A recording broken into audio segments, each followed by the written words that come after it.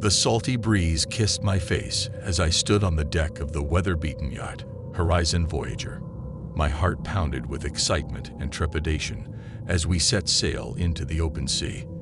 This was supposed to be an adventurous solo voyage, a journey of self-discovery and escape from the mundane. Little did I know that it would turn into a harrowing tale of survival. I had meticulously planned the route, navigating through the azure waters of the Pacific Ocean.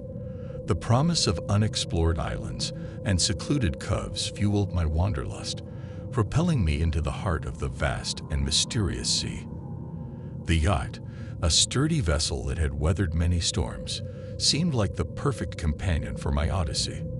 Days turned into nights, and nights into days. The rhythmic sound of the waves became a lullaby that soothed my troubled mind. The sea whispered stories of ancient mariners, tales of triumph and tragedy that echoed through the vast expanse. I reveled in the solitude, finding solace in the gentle rocking of the yacht. One evening, as the sun dipped below the horizon, painting the sky with hues of orange and pink, a strange unease crept over me. A whisper, almost imperceptible, fluttered through the air. It was as if the sea itself spoke to me, warning of impending danger. Ignoring the disquiet, I chalked it up to my overactive imagination. On the 15th day of my journey, the sea transformed into a tempestuous beast. Dark clouds gathered on the horizon, and the once calm waters churned with fury. Panic gripped my heart as I battled the raging storm. The yacht tossed like a mere toy in the hands of an angry giant.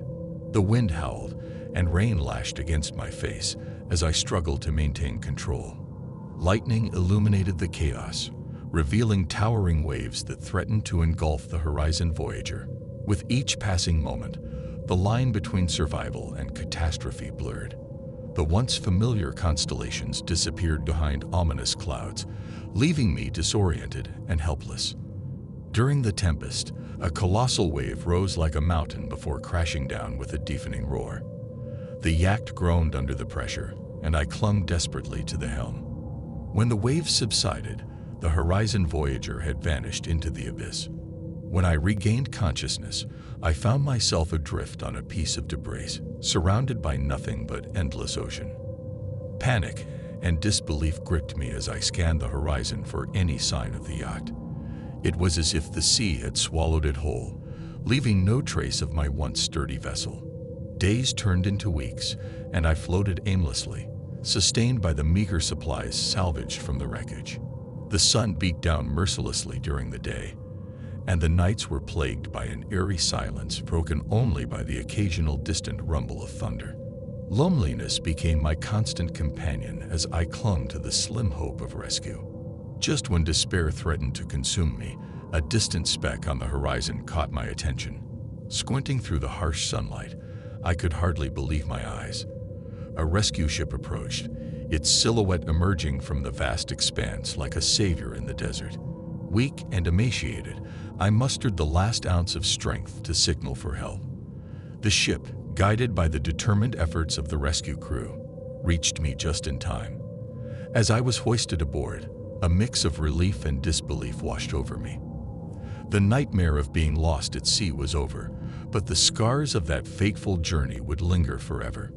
Safe on solid ground, I looked back at the sea that had both cradled me in tranquility and engulfed me in chaos.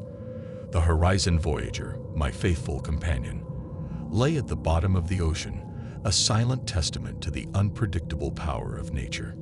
As I reflect on those tumultuous days, the mystery of the vanishing horizon lingers. The sea, with its whispers and warnings, had foretold my perilous fate. In the embrace of the vast unknown, I found both despair and resilience. The vanished yacht may never resurface, but the story of its disappearance will forever echo in the depths of my soul, a haunting melody of survival against all odds.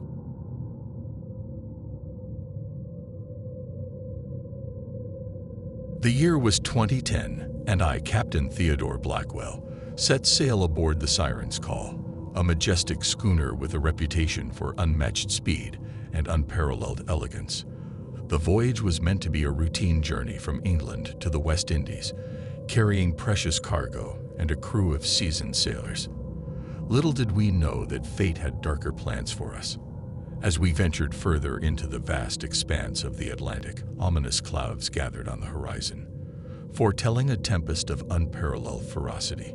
Uneasy whispers among the crew suggested that the seas were cursed, haunted by vengeful spirits of sailors long lost at sea.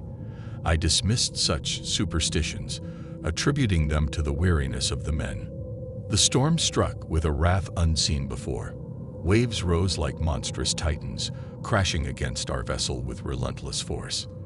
The once proud siren's call was tossed about like a mere plaything of the tempest.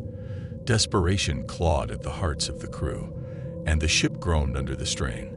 Amidst the chaos, the ship's compass shattered, and the guiding light of the North Star was obscured by the malevolent clouds. We found ourselves adrift in a nautical purgatory, lost in an endless sea of darkness. The air hung heavy with the stench of salt and fear, and an eerie fog enveloped us, shrouding the siren's call in an otherworldly glow. Days turned into nights, and the crew's once lively spirits waned as the haunting whispers of the ocean echoed through the ship. Shadows danced in the corners of the cabin, and ghostly figures flickered at the edges of our vision. An indescribable dread settled over us, as if the sea itself held us captive in its spectral embrace. My once stalwart resolve began to crumble. Sleep became elusive, haunted by vivid nightmares of drowned sailors clawing at the ship's hull, their eyes empty voids of despair. The boundary between reality and the supernatural blurred, and the siren's call became a vessel of the damned.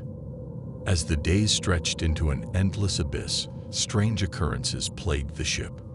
Phantom footsteps echoed in the corridors, and ghostly apparitions of long-lost sailors wandered the decks. I saw them in the dim light of the lanterns, faces etched with sorrow, eyes that begged for release from their watery prison. One night, as I patrolled the deserted deck, I heard a melancholic melody carried by the wind. The ghostly notes of a sea shanty resonated through the air, played by invisible hands on ghostly instruments. It was a mournful serenade, a requiem for the lost souls condemned to sail the seas for all eternity. The spectral crew seemed to harbor resentment, blaming the living for their watery demise. I tried to communicate with them, to plead for mercy, but their wails drowned my voice. They sought revenge, and I was their unwilling captain, steering the ship through the inky blackness of the haunted sea. As the siren's call sailed deeper into the heart of the paranormal tempest, a haunting melody emerged from the depths of the ocean. The seductive song of a mythical siren echoed through the ship, luring the crew with its enchanting cadence.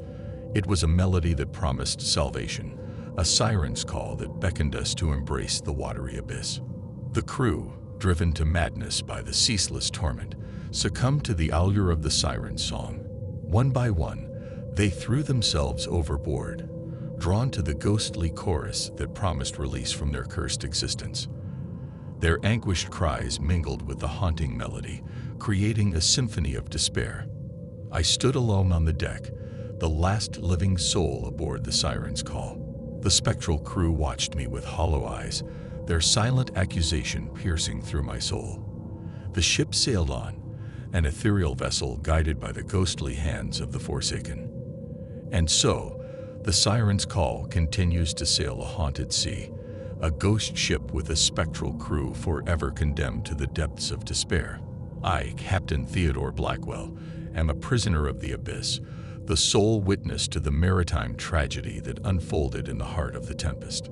The haunting whispers persist, the spectral crew seeking solace in the oblivion of the afterlife.